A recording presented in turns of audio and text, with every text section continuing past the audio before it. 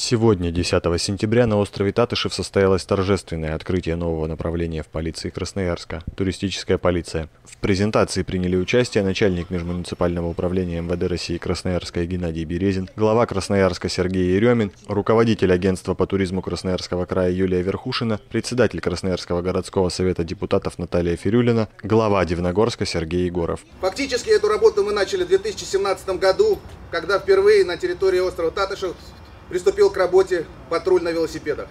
Развивая данную концепцию, мы перешли к патрулированию на полицейском катере, акваторию Енисея, акваторию Красноярского водохранилища. И в итоге было принято решение о создании специализированного подразделения Межмуниципального управления Красноярская туристическая полиция.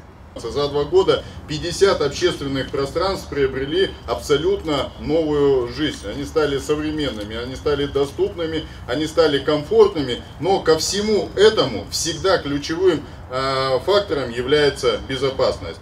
Зоной ответственности нового направления в полиции станут популярные места отдыха красноярцев и гостей города, экскурсионные и прогулочные места, объекты спорта, туризма и культуры Красноярска и Дивногорска. Сотрудники туристической полиции будут оказывать содействие гражданам и туристам в решении возникающих вопросов, принимать обращения в случае совершения в отношении них правонарушений. В состав туристической полиции вошли сотрудники полка патрульно-постовой службы. Отличить их можно будет по надписям на форме на русском и английском языках.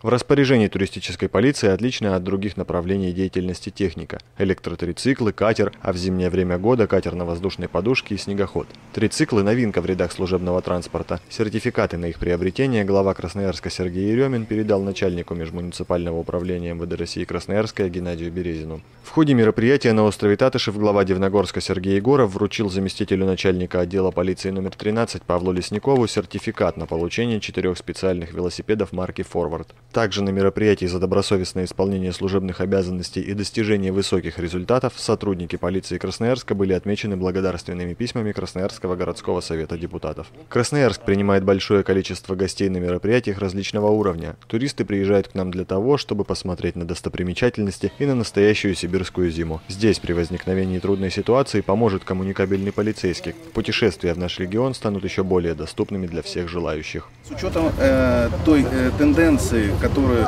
осуществляют э, руководители городов Красноярска и Дивногорска, не просто э, благоустройство общественных пространств, но и безопасность и экологичность.